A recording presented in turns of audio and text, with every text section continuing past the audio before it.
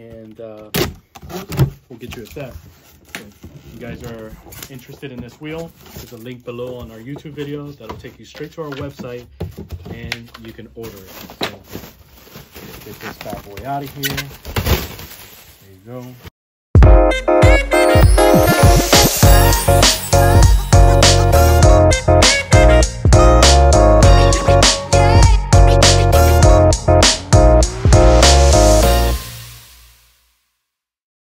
So this is the Mazzi Hype. It's called the 351. It's in the size 20 by 8.5.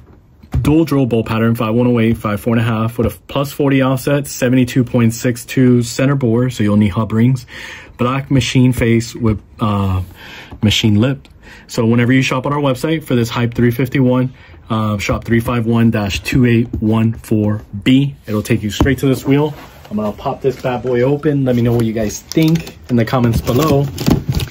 And uh, we'll get you a set. If you guys are interested in this wheel, there's a link below on our YouTube video that'll take you straight to our website and you can order it. So get this bad boy out of here. There you go. And there you go. This is your Mazzi wheel. I'm gonna take this bad boy down. Here you go. It's a machine face, multi-spoke.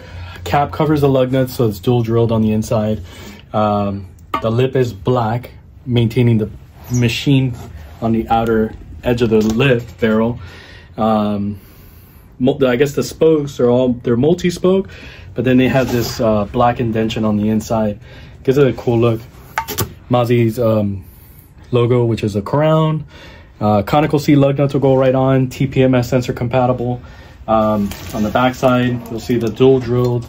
And then um, I think on this wheel, they come with a 72, yeah, 7262 center bore. So you'll need the proper hub rings, you know, whatever the vehicle may take. So you'll need like 7262. For example, this one's a 641, so this is Honda, but whatever your vehicle is, we'll give you the hub ring to go with it. And let me give you the lip size.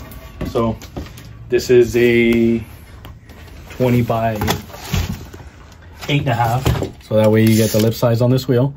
From where the face meets the lip, you're about two and a half inches, a little less than two and a half. From like the back side where the sensor starts or where the valve stem meets, it's three and a half. So got that. And let me give you the weight. So your weight on this wheel on a 20 by eight and a half, you're at 29 and a half pounds on a 20 inch wheel. So there you go. Good looking wheel, guys. If you guys are interested in this one or any other of the Mazzi styles, don't hesitate. Give us a call. We'll be happy to help. Thank you.